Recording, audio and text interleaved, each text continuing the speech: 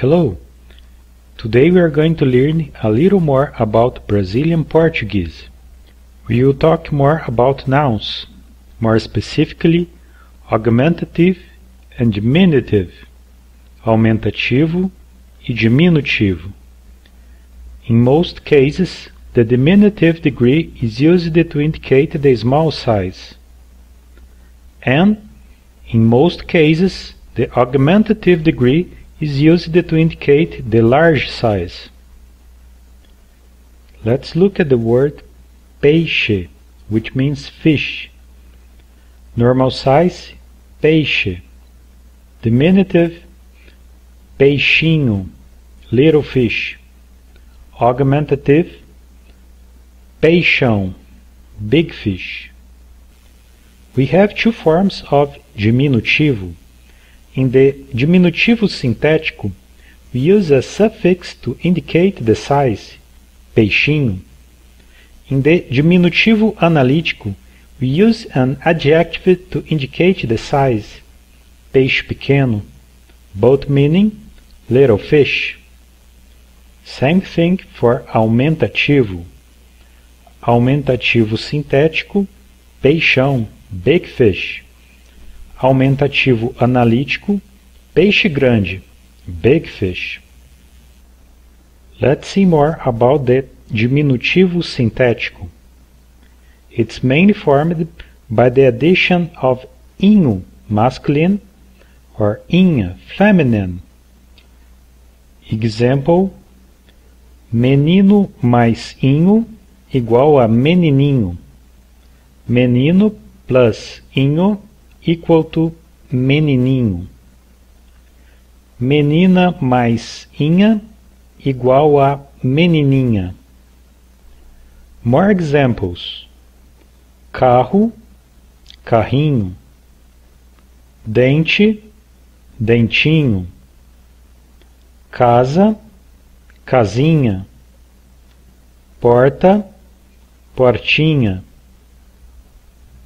Sometimes the diminutive is formed by the suffix zinho or zinha. Motor mais zinho, motorzinho. Lâmpada mais zinha, lâmpadazinha. There are a lot of diminutive suffixes. We will not see them all in this class, but here is an example. Palácio mais ete, palacete. And another example. Burro mais ico, burrico. Now let's see the augmentative. The synthetic augmentative is mainly formed by the addition of ão, masculine, or ona, feminine. Example: carro mais ão, carrão. Zebra mais ona, zebrona. The augmentative also can be formed by different suffixes. Let's see some augmentative examples.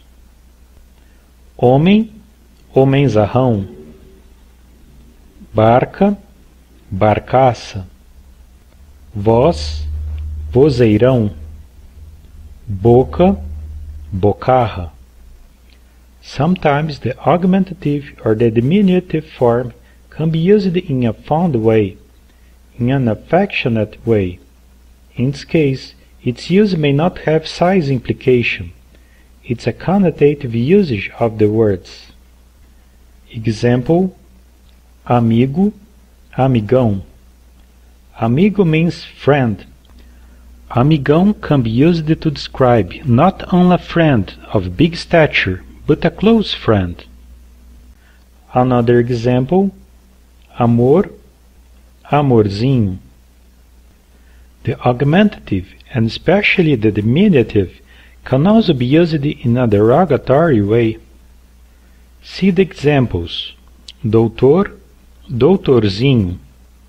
Doutorzinho literally would mean little doctor, but may be used to indicate a not so good doctor.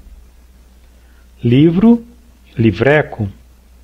Livreco literally would mean little book, but may be used to indicate a bad or irrelevant book.